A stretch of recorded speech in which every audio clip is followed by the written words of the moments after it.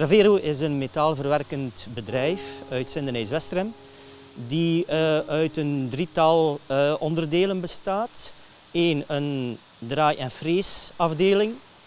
Twee, een medische afdeling. En drie, uh, lasserij specifiek op, die specifiek gericht is op het maken van kunstwerken. Onder andere kunstwerken, torens van Wim Delvoye of andere kunstenaars. En dat is ons enige activiteit eigenlijk van de lasserij.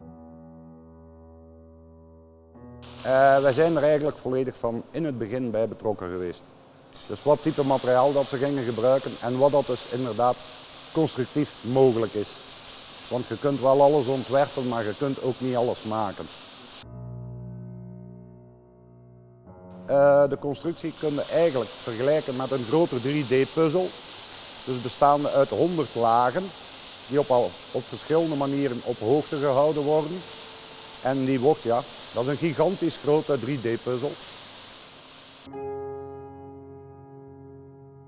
Dus de materialen die hier nu afgeleverd zijn een paar weken geleden, die zijn dus uh, gelezerd en dat wordt doorgegeven via computer rechtstreeks naar het laserbedrijf.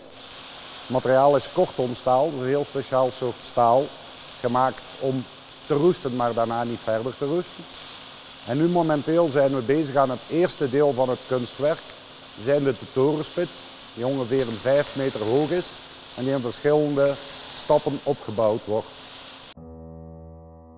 Dus je hebt eigenlijk plaatmateriaal van 10 mm dik. En tussen elke plaat is telkens 90 mm. Dus eigenlijk 10% van de volume van de kerk wordt gebruikt om volledige kerk te maken. Dus je hebt 10% staal, 90% lucht, 10% staal, 90% lucht. En omdat de muur een zekere dikte heeft en het licht altijd schuin binnenvalt, is de kerk van binnen meestal helemaal donker. Waardoor het landschap dat je door de lijnen heen ziet oplicht tegenover de donkere lijnen binnenin. Behalve ter plaatse van de kerk, eh, van de ramen, waar je een dunnere plaat hebt, kan het licht wel binnenvallen. En eigenlijk krijg je dus een soort van transparantie binnen in de kerk. Um, terwijl het geheel open is, krijg je transparantie ter hoogte van de ramen. En is die transparantie feller ter hoogte van de ramen dan ter hoogte van de muur. De kerk gaat in onderdelen gebouwd worden omdat het dus onmogelijk is om ze dus in één groot stuk te transporteren. Als je kijkt, ga je hier zien op een uh, tekening, dat is een computertekening, waarbij dat je ziet dat er dus verschillende kleuren opgegeven zijn en ieder kleur staat voor een volledige aparte laag. En op die manier kan dus iedere laag nadien ter plaatse vastgelast worden, want er is wel de vraag gesteld, alles moet gelast worden, alles moet perfect uniform zijn. Dus hier heb je de eerste laag. Dat is een laag die bestaat uit 12 verschillende platen. Daarna krijgen we dan een tweede laag, die bestaat ook uit 12 verschillende platen. Dan hebben we nog een derde laag, die bestaat uit een vijftal platen.